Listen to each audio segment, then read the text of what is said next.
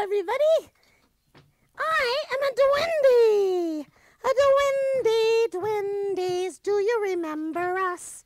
We're the children, children of Papa Gus. We can laugh, we can sing, trouble and friends we bring.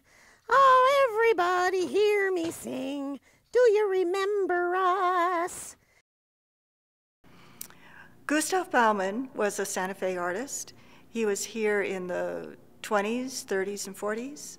He was an important artist in this colony during that era.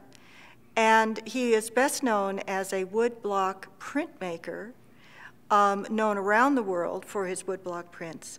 But he also did just about everything he could, which was also carving hand carved wooden marionettes in the European tradition large scale marionettes for performance for children and for adults as well. Gustave Baumann immigrated to the United States with his family from Germany when he was a child.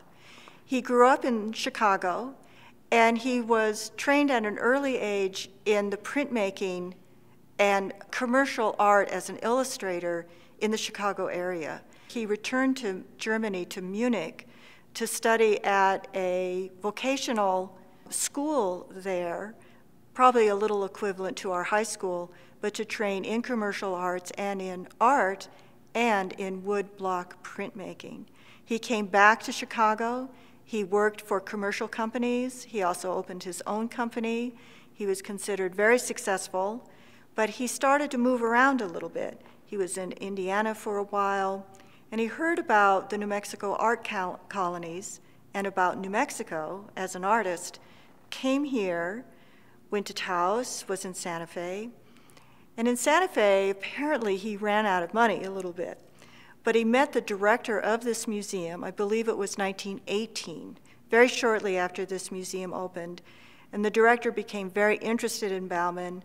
I think he forwarded him a little bit of money, and he offered him a studio in the basement of this museum.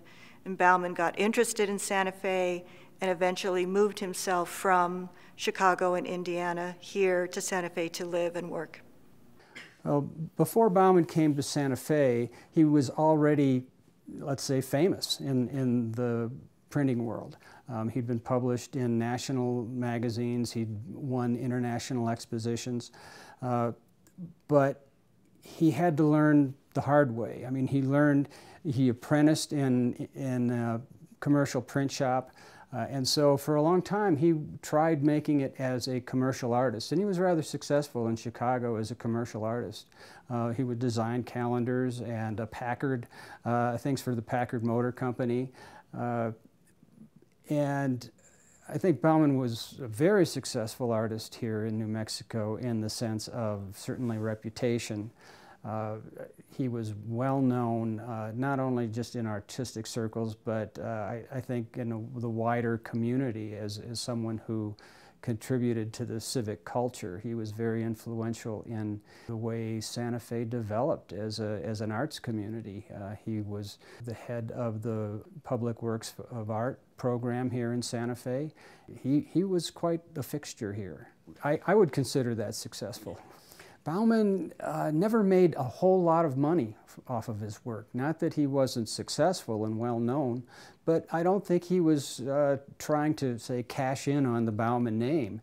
Uh, I think the most he ever sold a piece for was about $150. And he wanted to work with the client or the customer. Uh, it was more important to him that his work uh, get out there and be enjoyed. So he would, he would sell a piece to you for what you could afford.